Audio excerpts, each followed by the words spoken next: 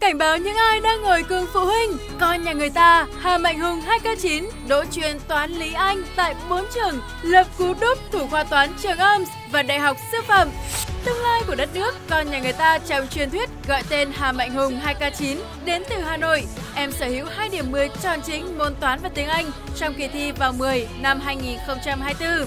Ngoài ra, em được 8,25 điểm văn cưng 9,5 điểm toán chuyên, trở thành thủ khoa khối chuyên toán của trường Trung học phổ thông chuyên Hà Nội Amsterdam. Trước đó, học bá Hà Bá Hùng cũng đã đỗ thủ khoa đầu vào lớp 10 của trường Trung học phổ thông chuyên Đại học Sư phạm với điểm môn toán điều kiện là 10, điểm môn toán chuyên 9,75 điểm chưa hết đâu, không còn thi đỗ khối chuyên vật lý của trường Trung học phổ thông chuyên Hà Nội Amsterdam và chuyên tiếng Anh của trường Trung học phổ thông chuyên ngoại ngữ.